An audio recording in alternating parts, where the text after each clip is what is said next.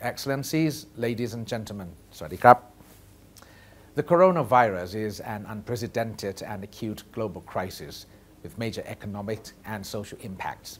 Thailand is the second country to confirm a case of COVID-19 infection in mid-January this year. As a country relied heavily on international trade and tourism, Thailand's economy has been severely affected. And similar to climate change, the most vulnerable groups are the hardest hit and are disproportionately suffered from its impacts. The Royal Thai government has made every effort to sustain the outbreak, and despite the successful containment of a local transmission, the socio-economic impacts will last for years. The fiscal stimulus package was introduced as a rapid response by the government, focusing on delivering emergency financial and economic relief, especially on people who lost their jobs or businesses, small and medium enterprises, farmers, and elderly. While the urgency is on economic recovery, the government fully recognizes to use this unique opportunity to build back better towards a greener, fairer, healthier, and more resilient and sustainable development.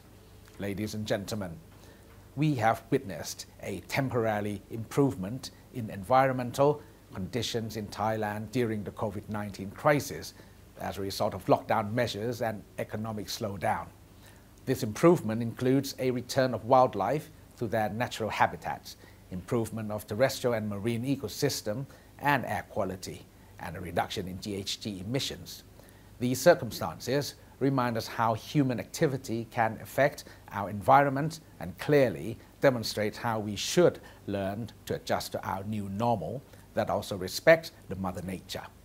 The government's attention is now shifted from short-term reliefs to longer-term recovery plans. The Ministry of Natural Resources and Environment is working to support the Royal Thai government to design such recovery plans in a way that integrates environmental consideration into economic and social dimensions with the aim to boost green and sustainable economic growth. One of the ministry's immediate responses under the recovery plans is the provision of over 16,000 jobs offered at various departments such as the Department of National Parks, Wildlife and Plant Conservation, and the Royal Forest Department. This measure not only helps easing living difficulty for those affected by the COVID-19, but also promoting local community engagement in the conservation and management of natural resources and environment.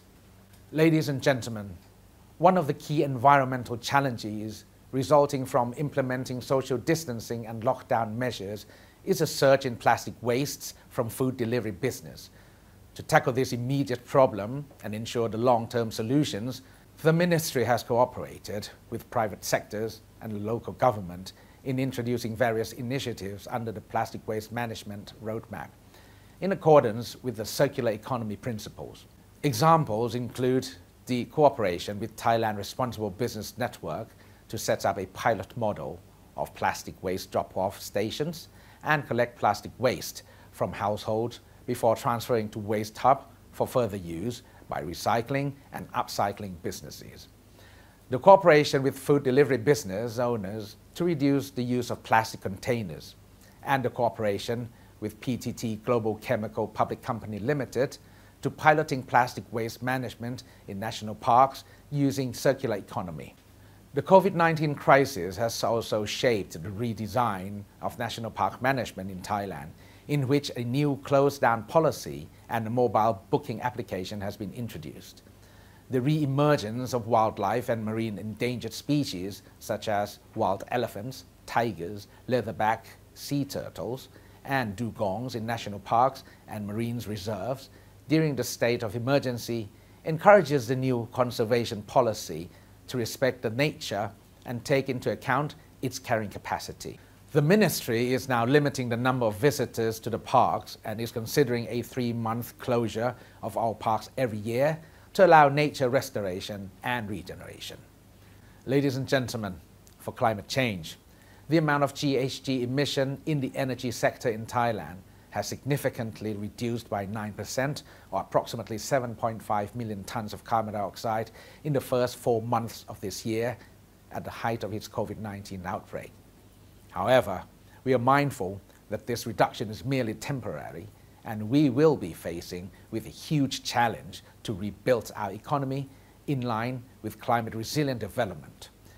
We determined to develop and implement a green recovery plan, especially in our tourism sector, where we desire to turn this crisis into opportunity to reintroduce green infrastructure such as energy efficient buildings, green transport, and the use of renewable energy to build back a green and sustainable tourism.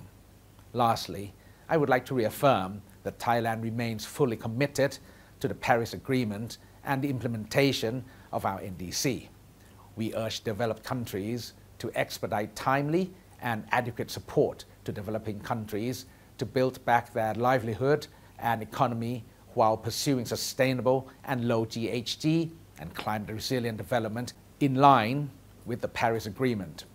Similar to COVID-19 crisis, climate change needs global solidarity. Let's work together. Let's make the right change and build back better and greener together. Thank you. ขอบคุณครับ